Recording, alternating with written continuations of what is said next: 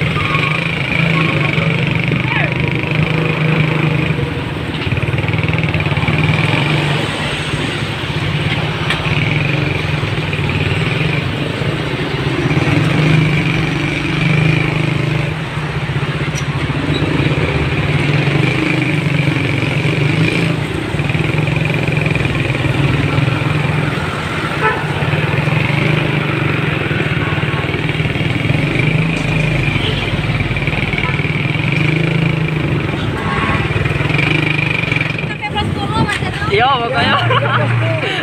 Oke, bosku.